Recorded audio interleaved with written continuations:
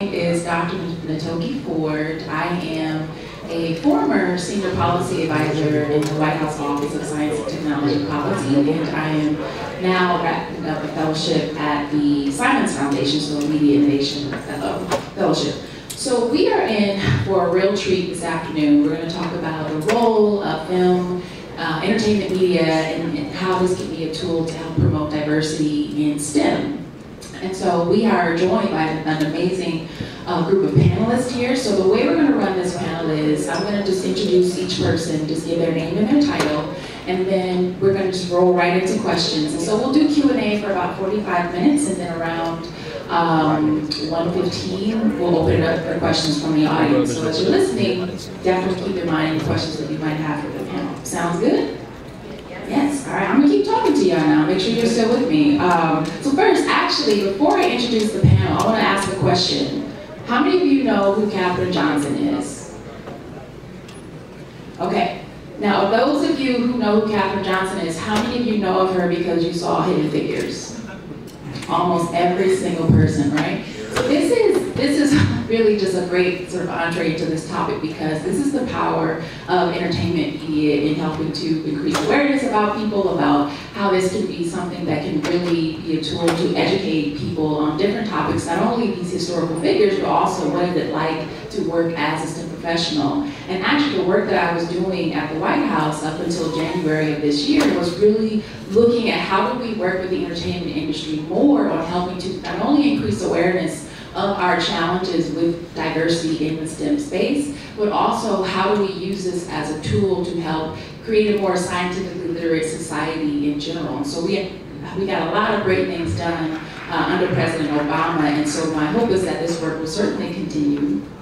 And so you are going to hear from some people today who are doing things that are in this STEM and media space, or STEAM, as some people like to call it. And so I'm going to start by introducing Dr. Kamau Bob, who is at the National Science Foundation.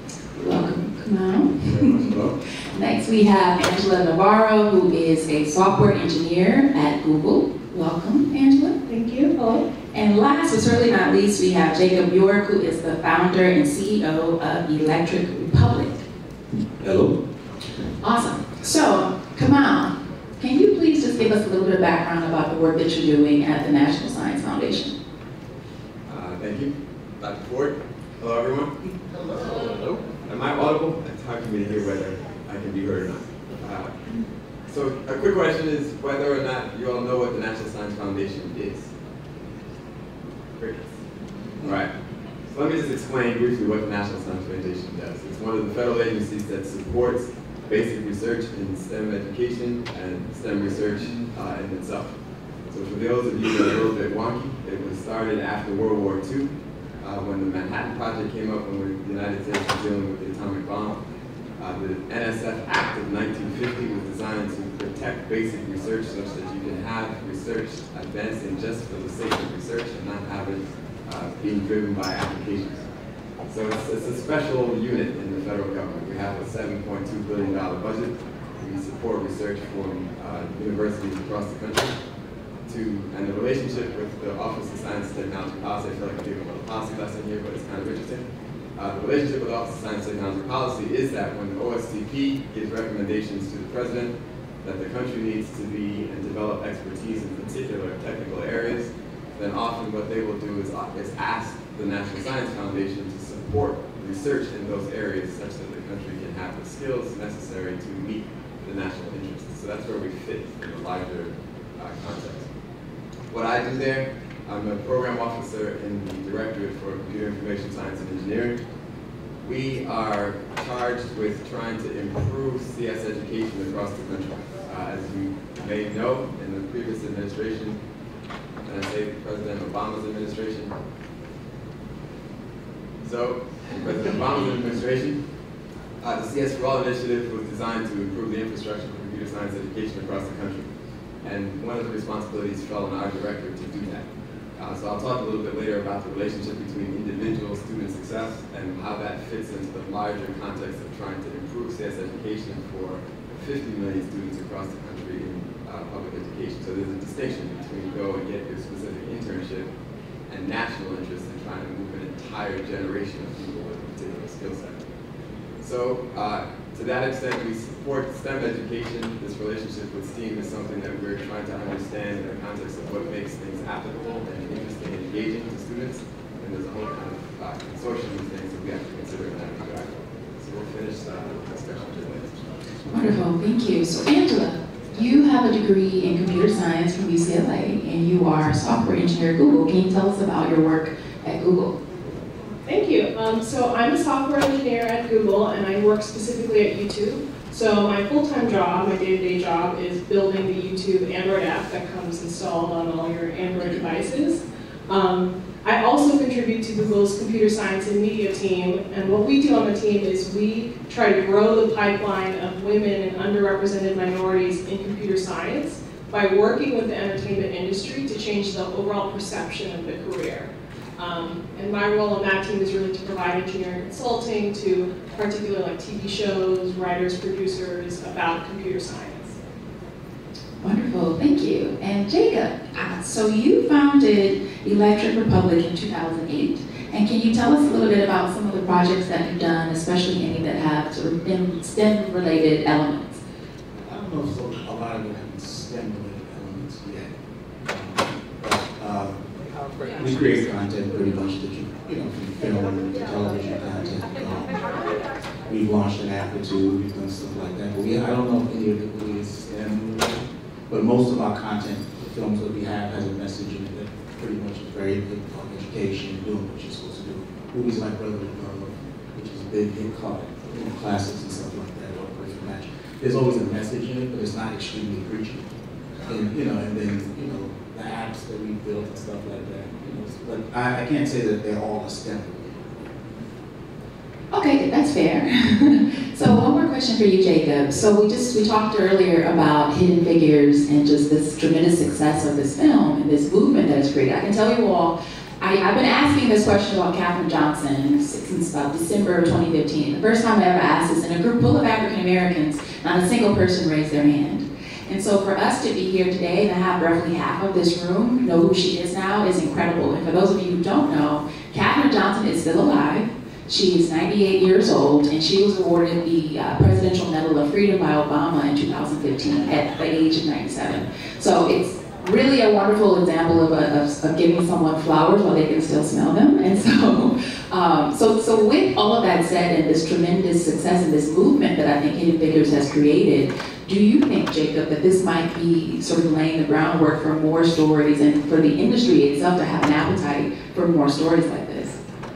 Um, no, in Hollywood, probably not. Mm-hmm. because they probably look at Katherine G. Johnson's story as um, overcoming obstacles, you know, in, a, in, in, this somewhat racially charged movement. And then obviously there's the one character that might be the older white male superhero that saved them. And that character is pretty much fictionalized in a lot of the stuff that he's done.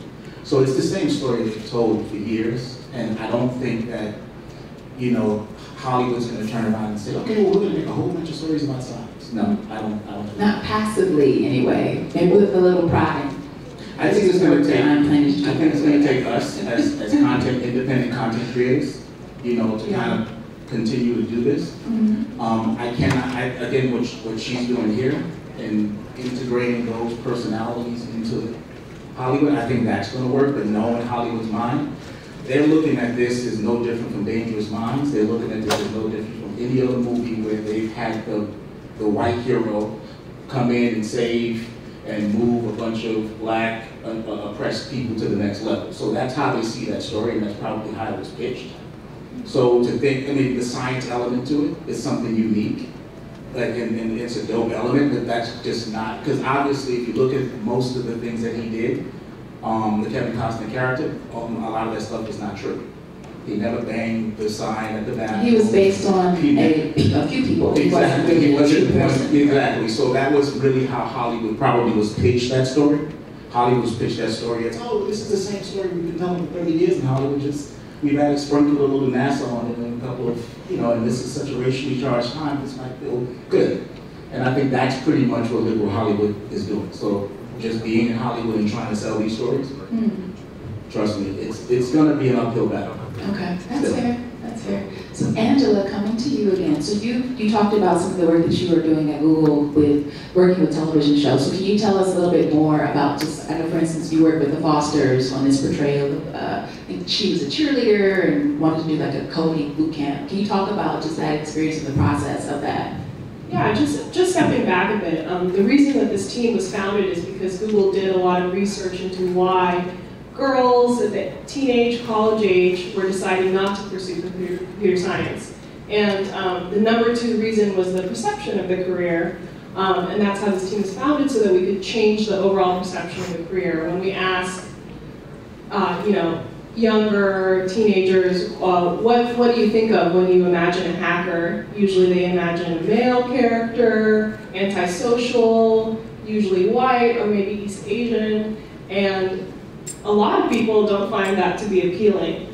Um, and so what we do is we work with the TV show writers to introduce them to engineers that don't look like that. Um, and when we worked with the Fosters, they had this, they were kicking around this idea of um, introducing their character, who's Latina, Mariana, um, to learn how to code. And she was also on the dance team. So what I did was I worked with the writers and talked about my personal story in high school, um, being captain of the cheerleading team, but also being interested in computer science and being part of um, the computer science club. And then we worked with, um, we had a, a, nice partnership with Made with Code where we really talked about how you can combine computer science with your other passions, such as dance.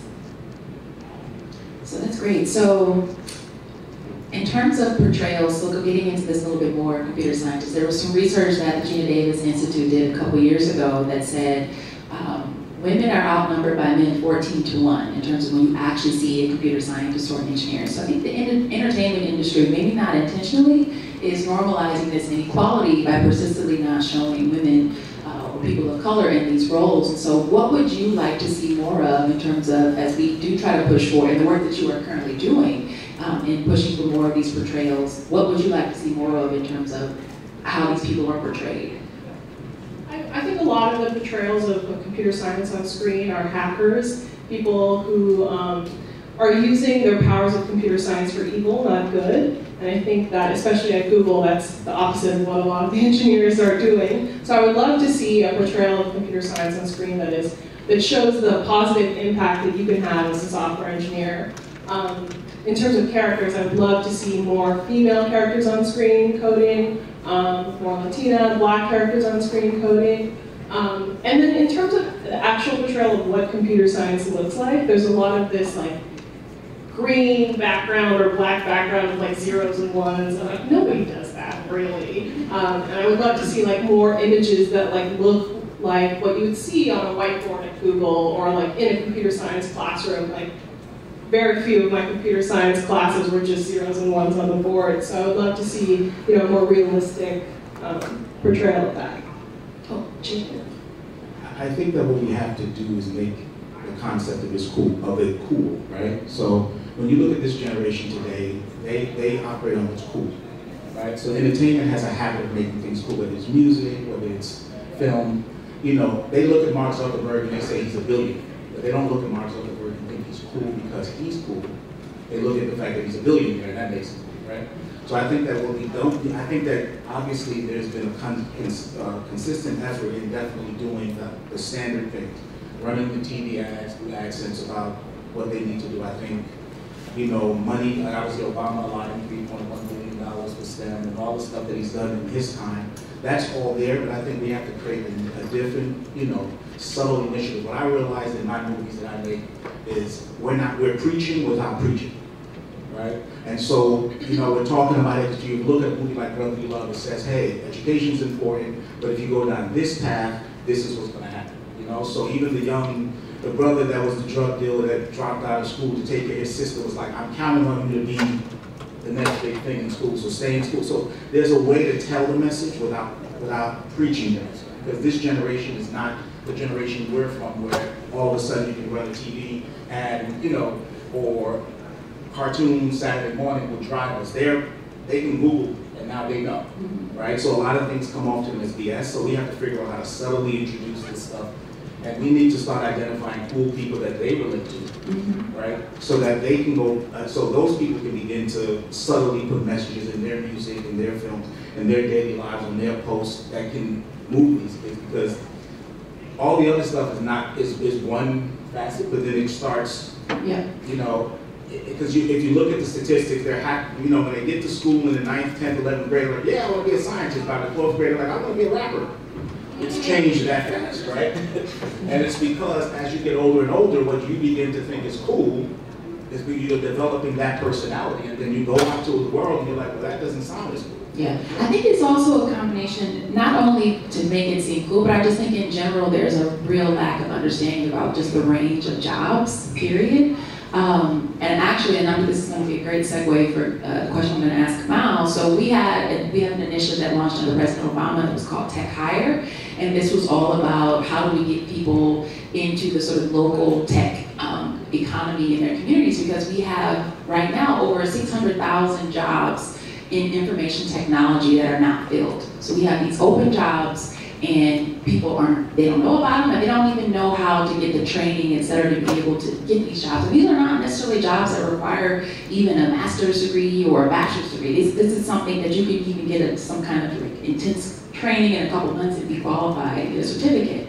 And so, uh, so I wanted to shift to Kamau a bit to talk about as I just mentioned, there's this really big, I think, gap in understanding about what is a STEM job and what sorts of training do I need to have to be able to, to go in this the range of fields. What do you think it could be opportunities for um, media in terms of helping to increase awareness of these, but also as these relate to some of the priorities that you have, particularly in the computer science space? I think what struck me is, we're listening to this discussion is my role in all of this. The NSF's role is a bit formal. Uh, so we've been, as you know, this STEM education uh, effort has been ongoing for a long time. The last four years or so, one of the primary challenges, particularly for students of color, is to develop mathematical maturity such that we can even play. So uh, Bob Moses, uh, if you all don't know him, you might want to look him up. Robert Moses, he's the, the founder of the Algebra Project. He was one of the leaders of SNCC in the 1950s, so he did a lot of grassroots uh, voter registration drives, was running away from the Klan and doing all those things. But ultimately, his, his profession to us was that if you don't do algebra in the ninth grade, you're locked out from higher education pretty much in any field. And that was acutely true for black students. So at the moment, this is one of those kind of dangerous things we don't want to promote these kind of statistics, but at the moment, only about 12% of black students are proficient in math in the eighth grade in the United States. And so the challenge for our uh, kind of agency is to develop formal education mechanisms such that people are able to do the things necessary to do.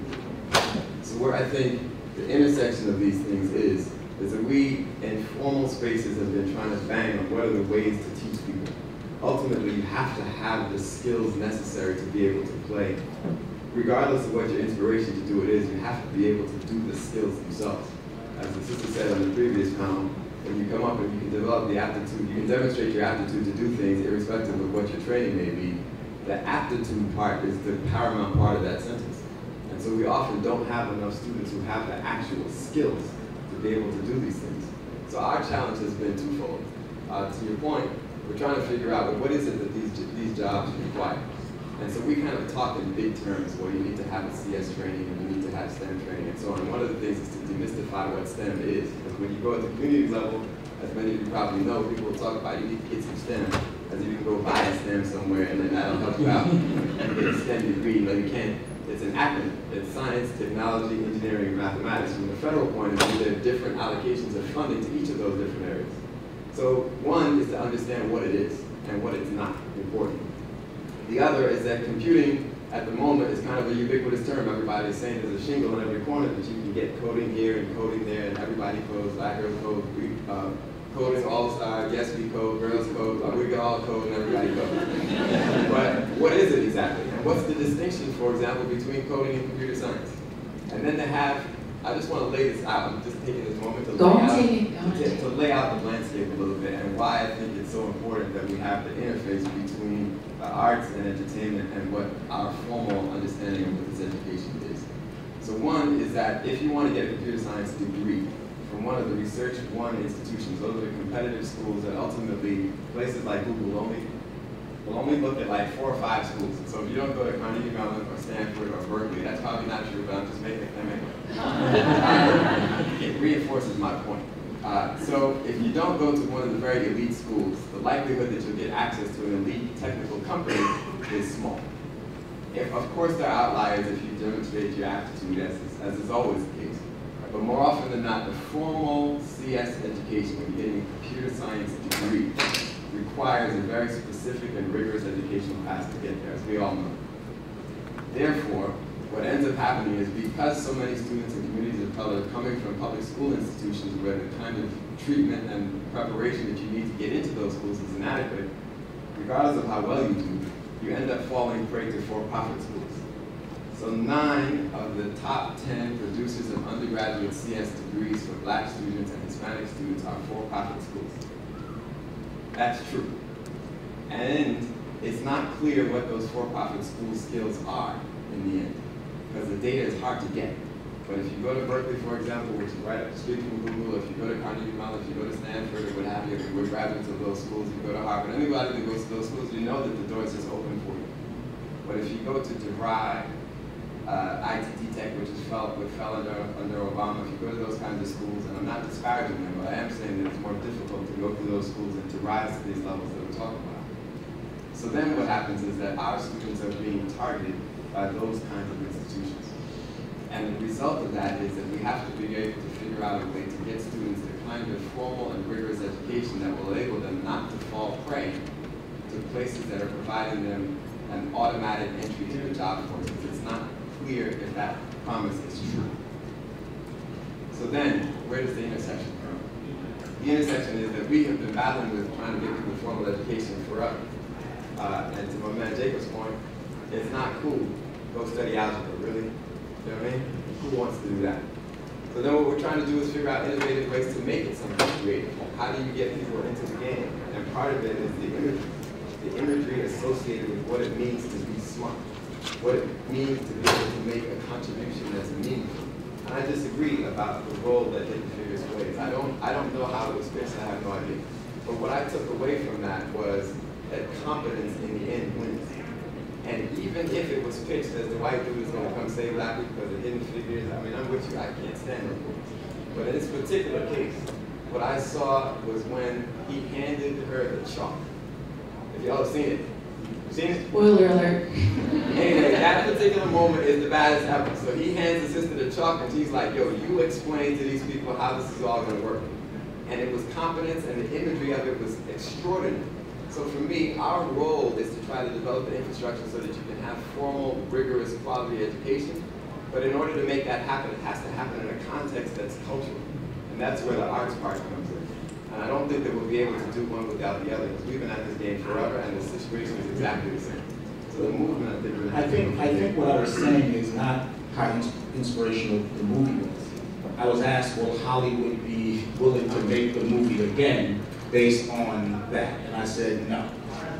Not based on that, that's not enough for Hollywood, because Hollywood told themselves, they, they're, oh, Hollywood is, is- Hollywood is very risk averse. As you can tell, it's always a remake of the movie before. They just remake and remake. So they're saying, oh, man, I remember we made Dangerous Mind, and that, that white teacher came to that black school and saved her. We can make Dangerous Mind with white guys saved, like, that's just how their minds work. And it's not, it's not from a racial point of view as much as that worked. You know, as, many times as they made that white stu- teacher going to the black inner city school and, and, and being that hero that they, that's just what they're gonna keep making. So will they look at, oh, I think that people care about black scientists, and we're gonna make movies about black scientists? No. As big as the Big Bang Theory is, there should be forty more of those.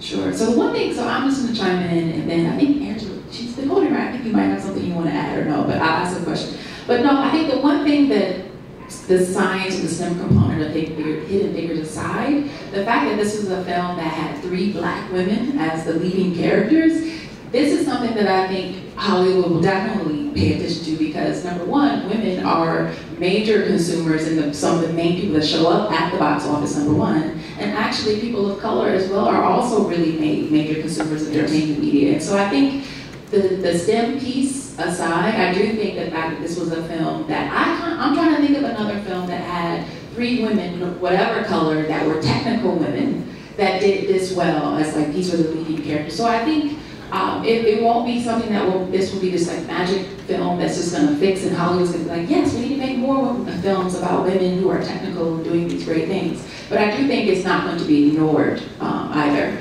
So I want to keep, keep the conversation going um, a little bit. So going back to this issue of this, there's the training piece and, and making sure that people are going through programs that are conferring skills to make them hireable or to, to have access to jobs. But again, this is a conversation about what's the role of media in this and helping us to advance the STEM inclusion agenda. And so my, my next question, and this can be for, for anyone who wants to answer, do you think that there are certain aspects that we should focus on more? Is it just increasing awareness of you don't necessarily have to have a bachelor's degree for everything, you don't necessarily have to have a PhD, or is it um, certain jobs in particular? So what do you think, so number one, what do you think we should start to focus on in terms of things as we're trying to increase awareness and make STEM sexy? But also, we, we haven't talked much yet about platform.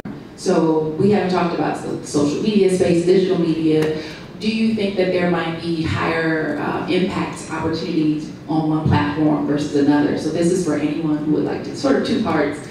What, what should we prioritize in terms of as we are looking to use media as a tool to portray things differently? And then the platform question. Um, I like to I don't think anything should be prioritized greater than the next. I think it's literally, it all has to be done on the same, at the same time because the way social media works and information works, like if you say, well, we're going to target this one place, all of a sudden a bunch of other information is coming through the other side. So I think that it's important to target it all. And I definitely think that what you've been doing for years and what she's doing now and what, you know, all of that stuff should be done. And I think there should be another tier. I think memes have more effect on kids. Funny memes have more effect on kids today than a commercial being ran by, by, by the ad council you know? So I think that people need to target stuff like that. I, you know, the world today in media and social media is impacted above regular media, and we see this in Donald Trump's era where people are willing to believe lies over what they see on their, in front of their face, right?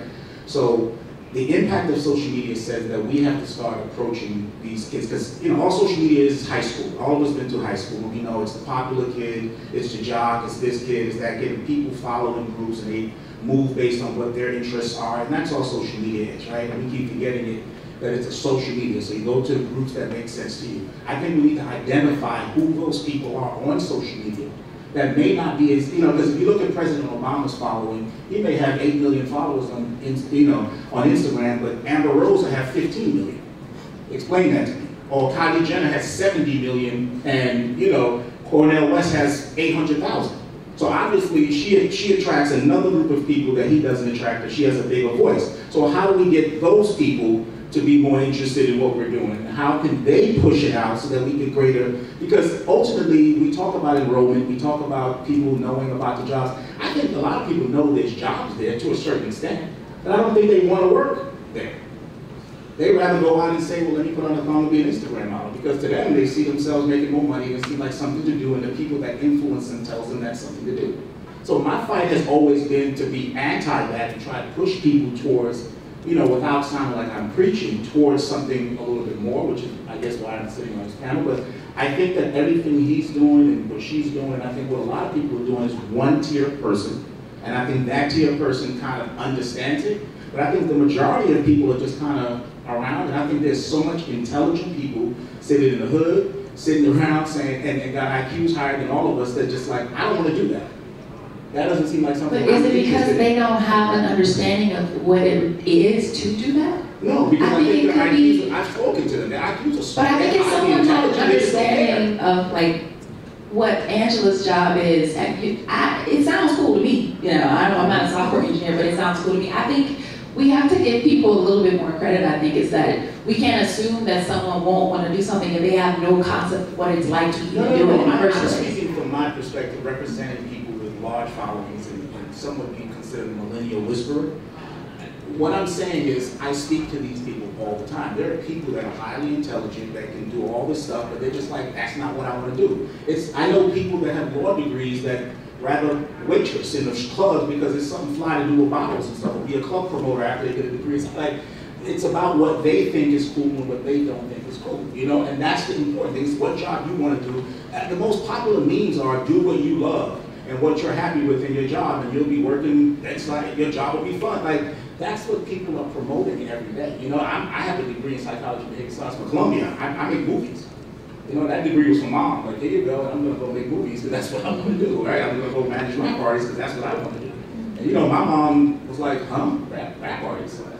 You know, so that's the reality that we have to start understanding that we cannot preach to these kids. And, and we saw that in the previous election, like we couldn't pump it down their throat the usual way. We have to give them a message that resonates with them, and we have to hit them at the level that resonates with them. It cannot come off preachy, or they're not, they're just gonna do this. And I think that's what it is. I think it's not, it's just not fly to do it. Kamau, did you wanna chime in? I think, you know, one of the, the best moments from Hidden Figures, like you said, was when um, he hands her the chalk. And I think what's great about Hidden Figures is that we they found like a hidden story to tell to show that it is cool to be smart. And I think that's one of the ways that we can send the message without being preachy. It's not like, hey, listen to me, I'm on a soapbox and I need to tell you why this is important. It's like, look at this story of um, an impactful, smart, competent person who's able to make an impact on the world positively. So I think, I think that, at least at, at Google, what we try to do is we try to find these like hidden stories, whether it's from the, from history or if it's from other engineers within the company and bring it to Hollywood and say like, you know, Hollywood writers write what they know, and what they know is what they've already seen on screen or what they've previously written. So we're saying, here's something new, and learn from this, and use this as inspiration instead of all of the other stories you've seen before that are full of unconscious bias, full of tropes and stereotypes that we're tired of. Yeah. So Speaking of unconscious bias, this is kind of a good question. A follow-up question I want to ask you, Angela, specifically. So when it comes to measurement of bias in media, I talked a little bit earlier about the lack of representation. So I know there's some really cool things that are happening. So traditionally when people are counting diversity in media, they usually just hire a bunch of graduate students to watch TV and movies to say there were two women here, five men here. But there's some really cool things that I know Google has been involved with, working with the Geena Davis Institute on automating this process. So my question for Angela is, can you tell us a little bit about this work? And then also, do you think, this the second part can be another throw throughout to anyone else, do you think that the measurement piece could be sort of a part of our, um, in our arsenal for being able to not only push and encourage for more representation, but also when we show that, hey, this film, Hidden Figures, had these women and these were the numbers in the box office, this could also be our, um, our tool to help try to push and encourage for more content like this. Yeah, I mean, so we want to have numbers on when you see a movie on screen, how much screen time is given to a woman versus a man, how much screen time is given to a person of color versus a white person. And previously it was like you pay like minimum wage to a grad student and say like write down these, you know, count, count the minutes. Um, but Google has partnered with the Geena Davis Institute to, de to develop GDIQ, and what it does is it uses machine learning to um, watch films and accurately count the screen time and like number of words spoken by all the different characters in the film. Um, and so now we have a really like um, you know accurate number that we can bring to Hollywood. And I think the number part is super important because Hollywood has been hearing, at least from my perspective, I feel like Hollywood has been hearing for years that the diversity is a problem, but they don't know just how severe the problem is. And when we can say like, listen to me, 15% of your film is women and the rest is all men. Like, how do you feel about that number? I think that has a greater impact than just saying, oh, there's a problem. Part of the challenge in the diversity side of it is the way that you measure diversity becomes an issue. So again, from our point of view, dealing with institutions, it's more often than not, as you know, just counting people and say, well, I have this number of people and this number of people, etc. And I think to some extent, uh, it came up in one of the earlier slides, the relationship between diversity and inclusion. And I think it's, while it's trite, you can have, in fact, segregation uh, requires diversity. And so you can have these institutions or fields that are diverse, but highly segregated. And so our challenge then is to, I think, once you're not measuring something, it's not really an issue. So the way that we decide to measure diversity up and down the various hierarchies in the different sectors is ultimately the, the way that we're going to have uh, changes according, accordingly. And I think here is where the, the imagery matters. And I keep coming back to this imagery thing because it's, it's one of the challenges that the entire, I think, the federal agencies that focus on this are struggling with. How do you get more students feeling empowered to be able to make the choice that even if you have an elite education, you can comfortably decide that that's not an area that I want to go into. And I think one of the unintended consequences of this push, particularly for students of color, is if you get these high-end degrees in technical fields and you don't want to do it, you feel like a failure, like you're letting down this entire push that's gotten you to this place, and you say, yo, I just don't want to do it. And then your whole community is looking like, what's wrong with you? This is what we all prayed about to get you to this place. So ultimately, I think the imagery thing is, is to enable us to have the whole portfolio, and this is where, again, we kind of talk about privilege in ways that's kind of trite. But I think one of the most valuable aspects of privilege is to be able to say, no, I don't want to do that. I have options. I don't want to go that way. I want to go this way. And it really doesn't matter what your whole community has been saying, and therefore I should do it. I just don't want to. And to feel no guilt in that. And here is where I think the, the kind of compilation of stories, the, the more sophisticated imagery from meme to movie and everything in between that enables us to envision what it's like to feel the power of privilege so that we can begin to have the practice of doing it. Because ultimately, I think privilege, like everything else, is a habit. You just have to be able to exercise it and understand what it feels like. And the more, the more you exercise and feel, the more you feel it. So ultimately, I think that's where the relationship comes. But I think it's tricky for us because we don't really measure that. We're measuring, are you present or not? And that's not enough. And I think the thing, I, I like that, to feel the power of privilege um, and, and, and, to have the choice to opt out. I think the other thing that we don't really see enough of is just the reality of the, that there could be a struggle associated with this path and then that's okay. And it's actually quite common to have it, you just not sit down and get uh, differential equations just are easy, right? And so I think this is, and one of the things I'm, I'm often very transparent about, so I'm, I'm a biomedical scientist by training, I have a PhD um, that I got from Harvard, and you know, from Harvard, you've heard of it? but so came to Harvard from Clark Atlanta University, so shout out to HBCUs. So, so I'm a big proponent of HBCUs, and so when I left Clark Atlanta and I got to Harvard, number one, I was leading a chemistry program going to hardcore biology, but number two, I was leading Atlanta um, an HBCU in Atlanta going to an Ivy League in New England. So there was this major culture shock for me in a number of ways. And because for the first time in my life, school was really hard, I thought that meant maybe, I maybe Harvard made a mistake. Maybe I don't belong here. And so I left. After one semester, I took a leave of absence and I came out to California. And that's a whole other story for another time. I got a TEDx if you want to hear about it. But yeah, so I think the other thing that we don't do a good enough job with in terms of how we portray STEM, we don't show the cool aspects of it enough, but we also don't show the struggle. People need to know it's, it, it is hard, but it can also be really rewarding too. But don't think that because it's hard at first, that that means you can't or ever won't excel and be good at it. Um, and so we're, we're winding down. I want to open it up for questions in about five minutes. So my next question that I'll just throw, oh, you have something you want to add? Yes, please. Um, and, I think that, I don't know if I'm the controversial figure here, but I think that what everyone here is saying is correct. I think why I'm here is I'm, I'm, I'm coming for it. I'm coming at it from a different you know, perspective. But what I want to say about the Hollywood thing, I think where we go wrong in Hollywood when it comes to diversity is when we attack Hollywood on everything, right? So in other words, hiring practices for women is different from whether black films should win Oscars right? So there's two different problems there. And I think what we do is we attack them on everything, and Hollywood is so liberal that Hollywood begins to say, well, let's make differences on everything, and I think the arguments are not the same. African Americans' opportunities to make film is different from whether African American films deserve Oscars. Those are two different things, because if we don't have the opportunity to make the content to, to, to even be nominated for an Oscar, why are we upset they're not getting nominated?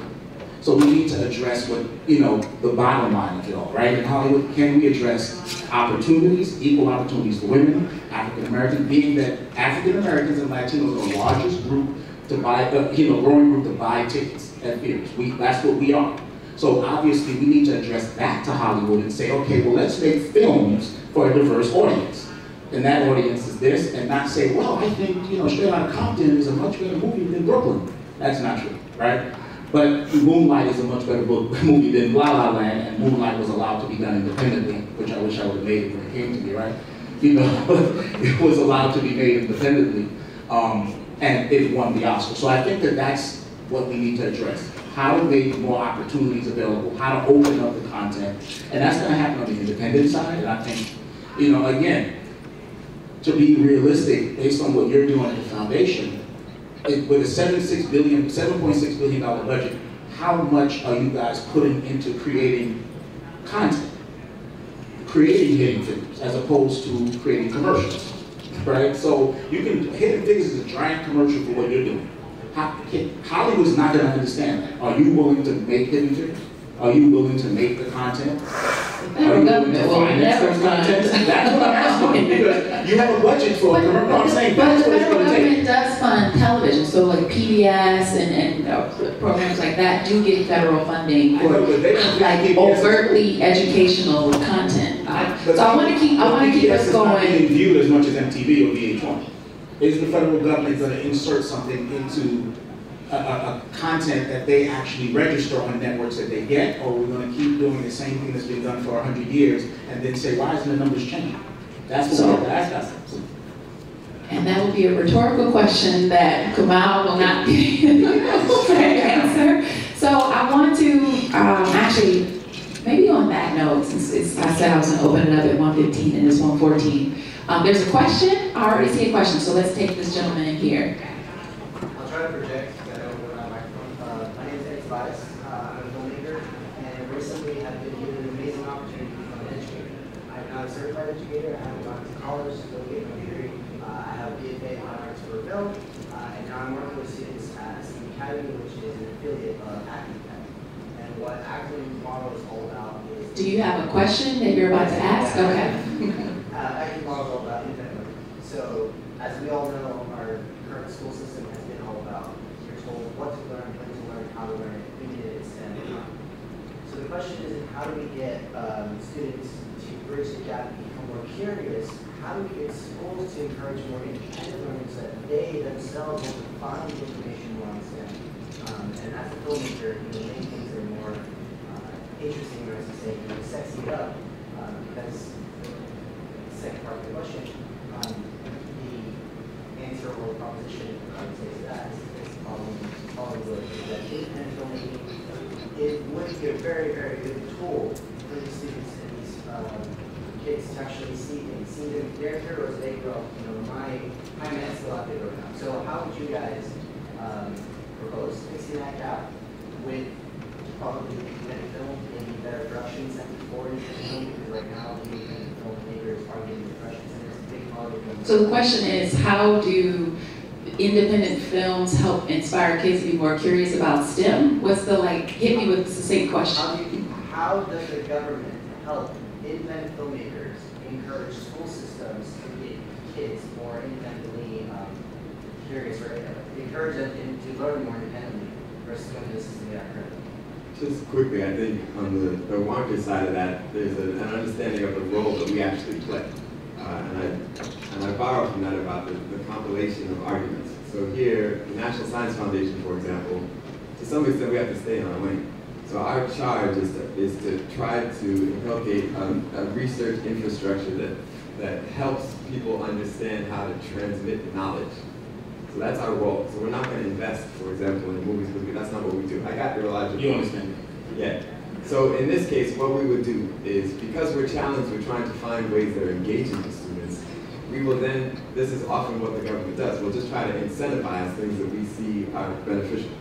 So in my case, for example, because CS education is one of the paramount charges from the Obama administration, what we've done, we have a STEM plus C program, which is one of the ones that I'm a program officer over. And what that is, is trying to find ways to infuse computing into the traditional STEM subjects. And what that means is that particularly in, in districts where students are struggling, you'll find that if you're talking to a superintendent, they'll say, well, look, I have to save these students first before I can deal with teaching and such. Point one. And then the second is that their accountability is measured against whether students perform well in mathematics, science, and English language arts. So those are the tested subjects, and those are the things that the superintendents and the teachers keep their lights on with. So we're trying to get them to do a, a separate subject. So the way that we do that is to say, well, if you can inf infuse computing in the traditional STEM fields and improve student performance in that way, then ultimately both win. And what we're offering them is a, is a means for and a platform for innovation.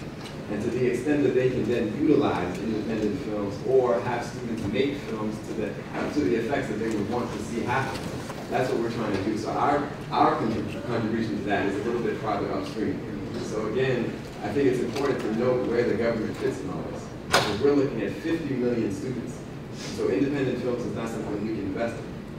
What we can do is to provide the incentive for districts to then go out and say, well, all right, we need to be creative on how to do this particular thing, or to recast imagery, or what have you, or even, to some extent, trying to break down specific conceptual topics so that we can see what learning progressions mean in ways where in the background it's not zeros and ones, but rather it's something that's actually real. And that's where the government plays a role in all this. Thank you. So any other questions? Um, yes, this young lady here.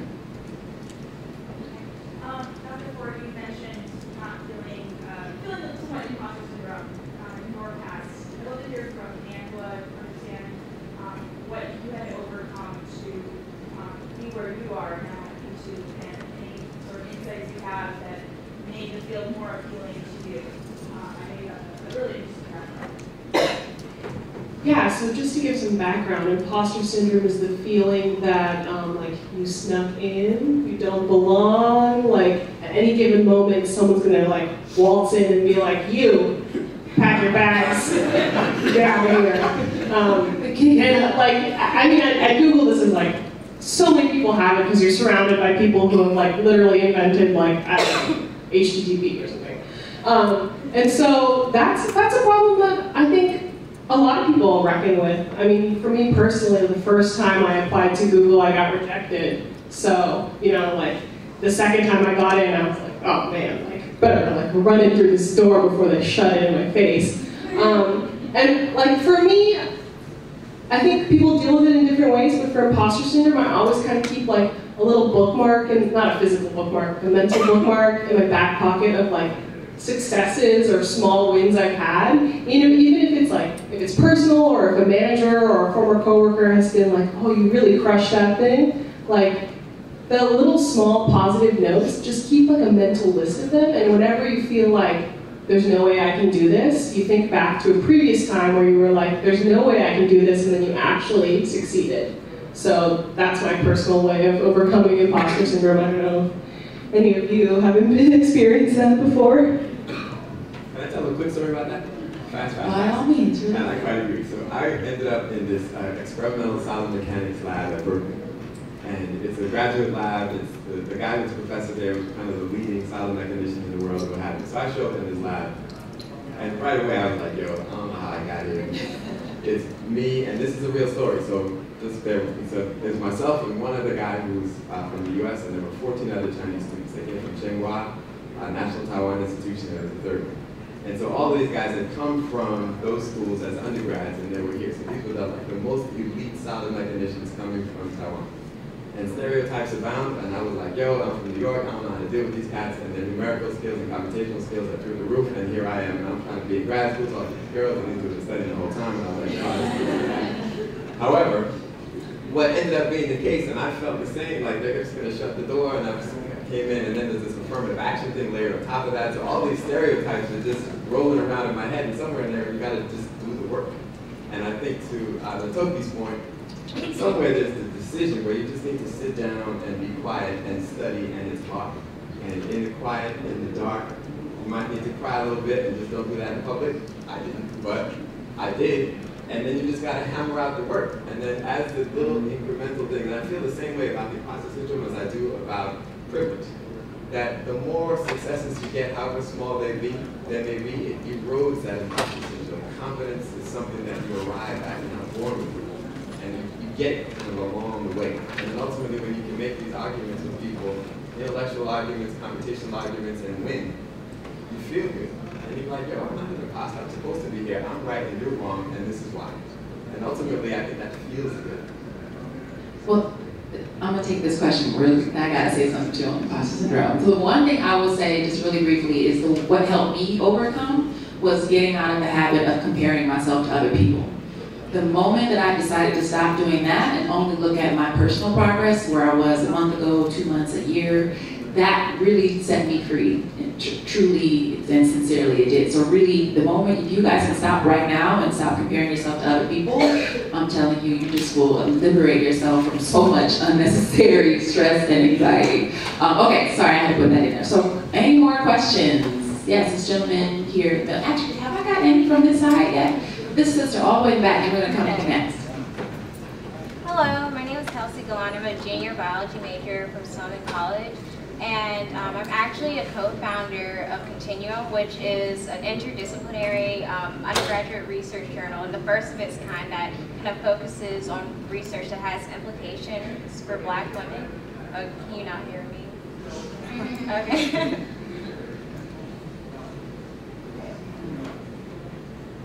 Do I need to repeat everything? Yes, please. Okay. Hi, my name is Kelsey Galan. I'm a junior biology major from Spelman College. Um, and I, as I mentioned, I am a co-founder of a research journal called Continuum, which kind of focuses on interdisciplinary research that has implications for black women. And so you mentioned a lot about the impact of film, such as Hidden Figures, on research and technology, but what impact do you think other media outlets such as publications and blogs um, could have on kind of, I guess, the stereotype of um, just people of color and research and technology and such? That's a good question, and I'm trying to think. Jacob, do you have a? Did she say what impact can Other types like blogs or maybe but you- podcasts? That's the point I, I, I think I was trying to make, like, they have a much bigger impact than just a movie does, you know? And, and that's the most important thing, how do we reach out to them, how do we get them to really begin to change? I, I mean, I have an initiative in Atlanta where I've reached out to a lot of the blogs and said, hey, let's stop perpetuating a lot of the negative stereotypes and let's begin to put a lot of this good information out there. And a lot of them been trying to do it. You know, the shade room has tried here and there, they'll put up some 50 crazy things and put up one good thing, and they all, we started this initiative a couple years ago, which is, you know, the baller alert, good news, and good in the hood, and we've tried to begin to do that, because they have a big, honestly, they have a bigger impact than most people's parents, right? And that's, that's, that's the important tool there, based on what she's saying, it's like, how do we get these, re, the real voices of these people to talk to them, as opposed to the usual stuff that worked for us when we were young, you know, so that's, that's, that's very important, and, and to be honest, I feel like they have a bigger voice than everybody else. Yeah, and I think part of the challenge is, I don't know of many people who are measuring and trying to track and assess that. So I think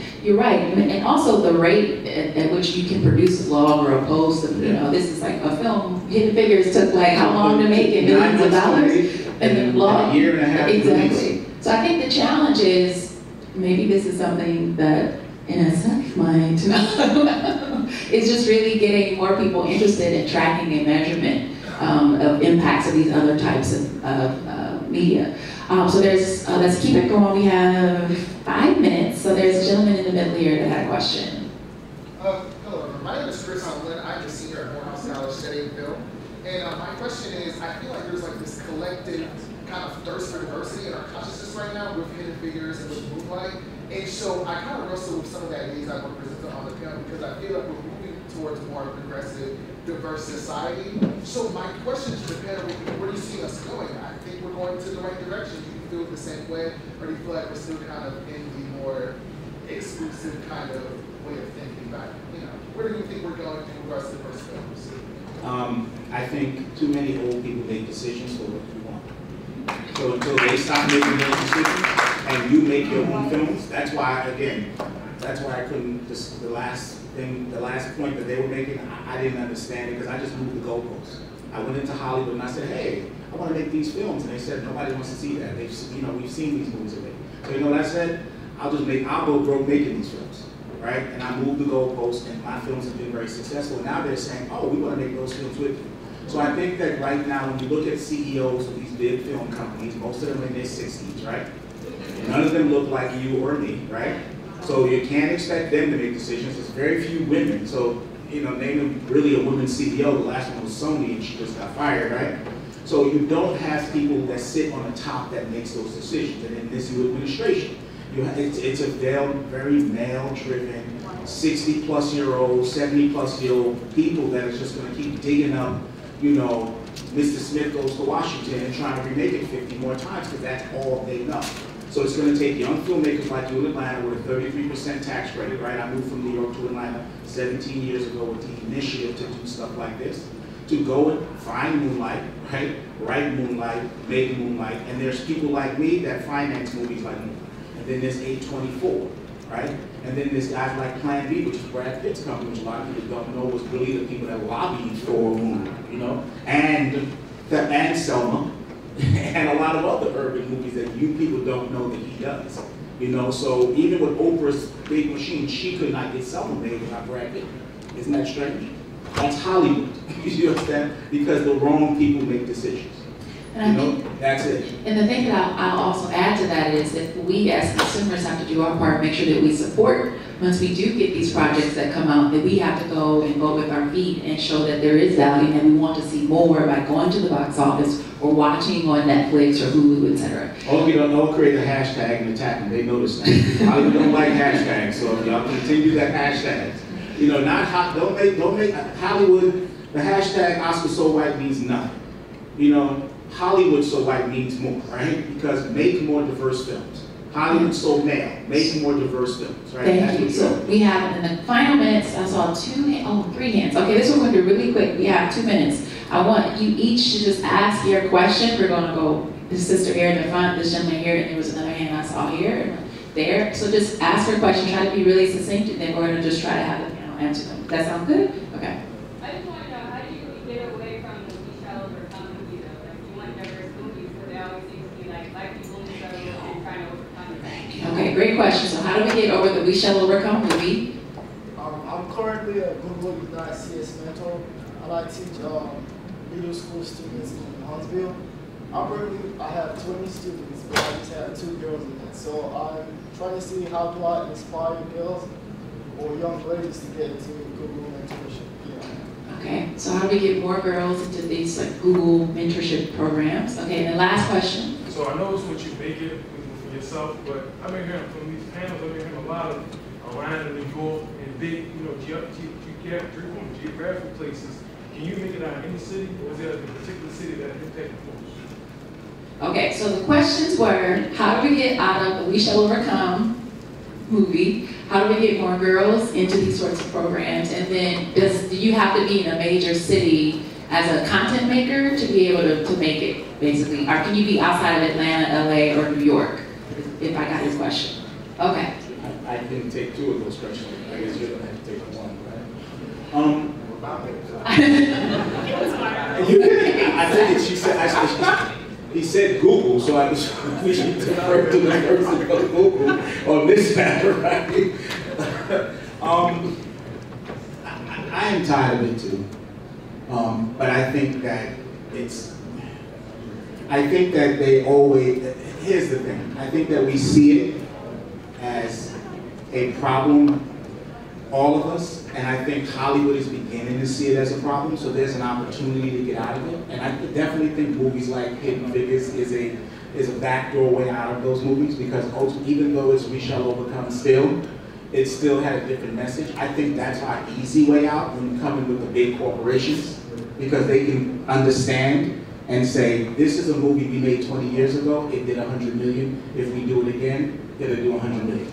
Now, companies like myself, we're responsible for going out and young content makers like yourself or anybody else in here to make those movies. Issa Rae didn't make the We Shall Overcome show, right? So there, there are people out there doing it and making shows and making content that's not that, and it's beginning to get uh, traction, right? But if you look at Moonlight, Moonlight is, is a subtle We Shall Overcome story also, right? But there's an approach there, right? Because that's a that's a, a serious problem in our community that we, it's a taboo that we need to deal with. So it's that's a that's an okay story to tell.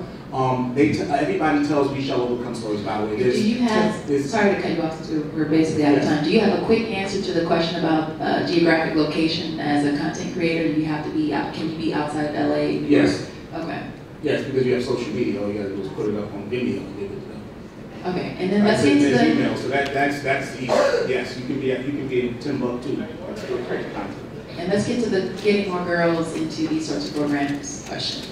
Yeah, just real quick. So I mentioned that the number two reason that girls choose not to pursue computer science is perception. But actually, the number one reason is adult encouragement. It doesn't have to be a parent that encourages girls. It can be a mentor, a family friend, a teacher, you know, a mentor of a program. So that's one way you can definitely have an impact. Great, thank you. And Kamau, just we get one last chance to speak. Future of STEAM, is it here to stay or is it just a fad? It is, well, it's here, to stay. adding the A is just kind of bringing it right back around to education, but, uh, we'll make it all work. Okay. All It's right. here to stay. It's here to stay? It's here to stay. All right, great. Well, thank you all for being such a great